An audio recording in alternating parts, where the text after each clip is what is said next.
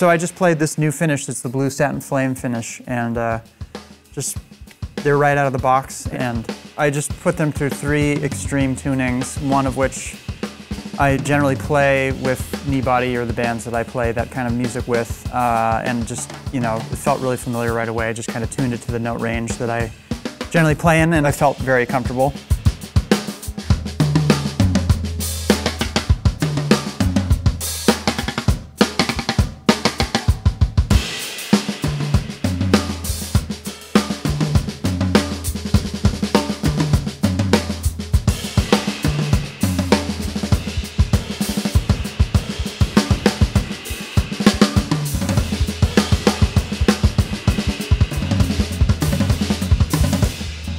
And then tuned it extremely low, which is fun to do for such small drums because it's like an optical illusion.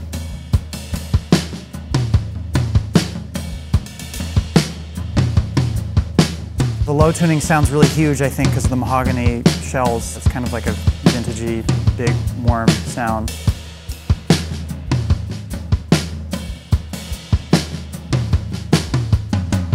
The final tuning was the bop tuning, which is tuned super, super high, and that's just like instant Gretsch familiarity. And uh, yeah, so then I play a little bit in each one, and I felt just super comfortable.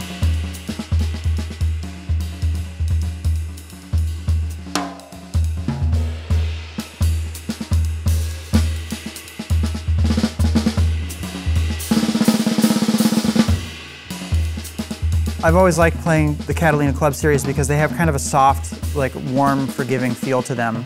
Even when they're tuned high, like they are now, it's very inviting to play. I'm not fighting the, the, the response of the drum or the tension. It just feels like it gives back.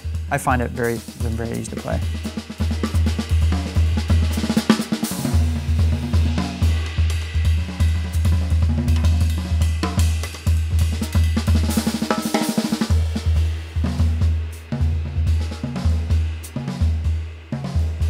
All the ranges sound good. It's like the, I can tell the bearing edges are, are perfect because the, the drums tune really easily. I wasn't fighting the tuning. It's just, I tune it to the pitch I want it to in two seconds and it's there and it stays and that's a sign of like a well-made drum.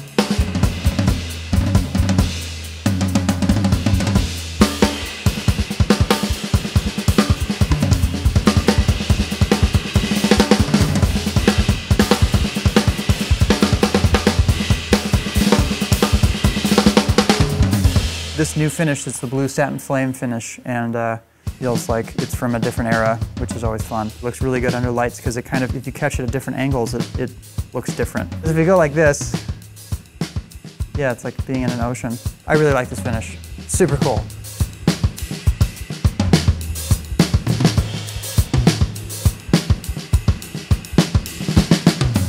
I just get happy anytime I see this lug design. If I show up at a club and it looks like this, I'm like, happy. I know it's going to be a good night.